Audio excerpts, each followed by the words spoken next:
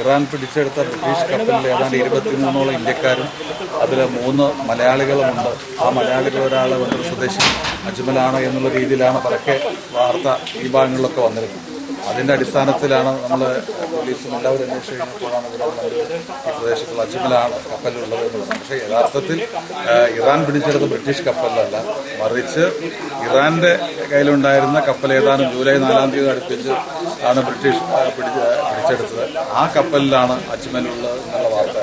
ഏതാണ്ട് ജൂലൈ നാലിന് പിടിച്ചെടുത്ത കപ്പലുമായി ബന്ധപ്പെട്ട് ആഗോളതലത്തിൽ തന്നെ വലിയ വാർത്തകളും കാര്യങ്ങളും വലിയ സംഘർഷങ്ങളൊക്കെ ഒന്നുകൂടി വന്നിട്ടും അതിന്റെ തുടർച്ചയായി ഇറാൻ ബ്രിട്ടീഷ് കപ്പൽ പിടിച്ചെടുക്കുമ്പോഴും യഥാർത്ഥത്തിൽ അതിൽ മൂന്ന് മലയാളികളുണ്ട് എന്നുള്ള വിവരം ലോകം അറിഞ്ഞില്ല അല്ലെങ്കിൽ നമ്മുടെ നാട് അറിഞ്ഞില്ല എന്നുള്ളതാണ് ഒരു പ്രധാനപ്പെട്ട കാര്യം.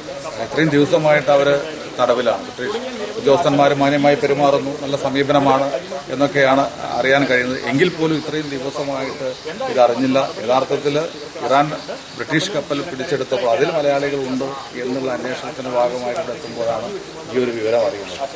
അപ്പം അതുകൊണ്ട് തന്നെ ഗവൺമെന്റ് ഇന്ന് ഇറാനുമായി ബന്ധപ്പെട്ടുകൊണ്ട് ബ്രിട്ടീഷ് കപ്പലിലുള്ള മലയാളികളെയും ഇന്ത്യക്കാരെയും വിട്ട് കിട്ടുന്നതിന് വേണ്ടിയുള്ള ശ്രമം നടത്തുന്നു എന്ന് വിദേശകാര്യ മന്ത്രാലയവും അതുപോലെ കേന്ദ്ര ഗവൺമെന്റും ഒക്കെ പറഞ്ഞുകൊണ്ടിരിക്കുന്നു. അതേ ഗൗരവത്തോടു കൂടി തന്നെ ഇറാൻ കപ്പലിലുള്ള മലയാളികൾ ഉൾപ്പെടെയുള്ള ഇന്ത്യക്കാർ വേറെ ആരെങ്കിലും ഉണ്ടെങ്കിൽ അവരെ കൂടി എത്രയും പെട്ടെന്ന് കാരണം അവർ ജൂലൈ നാലാം തീയതി പിടിക്കപ്പെട്ടവരാണ്. അപ്പോൾ എത്രയും പെട്ടെന്ന് അവർ ബ്രിട്ടീഷ് ഗവൺമെന്റുമായി ബന്ധപ്പെട്ടുകൊണ്ട് അവരെ കൂടി ഇതുപോലെ തിരിച്ചെത്തിക്കുന്നതിന് വേണ്ടിയുള്ള തീവ്രമായ ശ്രമം ഗവൺമെന്റിന്റെ കേന്ദ്ര ഗവൺമെന്റിന്റെ ഭാഗത്ത് നിന്ന് പ്രത്യേകിച്ച് വിദേശ മന്ത്രാലയത്തിന്റെ ഭാഗത്ത് ഉണ്ടാകണം എന്നാണ് സൂചിപ്പിക്കാനുള്ളത് അല്ല സർക്കാർ ഇപ്പോൾ പറഞ്ഞുകൊണ്ടിരിക്കുന്ന കാര്യങ്ങൾ ഇറാൻ പിടിച്ചെടുത്ത ബ്രിട്ടീഷ് കപ്പലിലുള്ള ഇരുപത്തിമൂന്നോളം ഇന്ത്യക്കാരെ വിട്ടിട്ടുന്ന തീവ്ര ശ്രമം നടത്തിക്കൊണ്ടിരിക്കുന്നു. വ്യക്തമായ വിവരങ്ങൾ ലഭ്യമായിട്ടില്ല. എങ്കിലും അതിനുള്ള കാര്യങ്ങൾ നടക്കുന്നു എന്നാണ് വാർത്തകളിൽ കാണുന്നതും പറഞ്ഞുകൊണ്ടിരിക്കുന്നത്.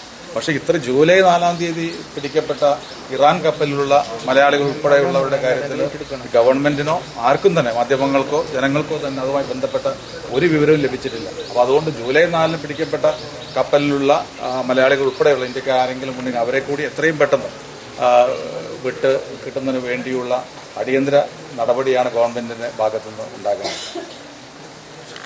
Viva wedding palace Manjeri road Pandikkad phone zero four eight three two seven eight four triple zero Sara golden diamond Wandoor Edavanna new Samiya ടെക്സ്റ്റൈൽസിൽ വിലക്കുറവിന്റെ പെരുമഴക്കാലം. മൺസൂൺ ഓഫറിൽ വസ്ത്രങ്ങൾ പകുതി വിലയ്ക്ക്.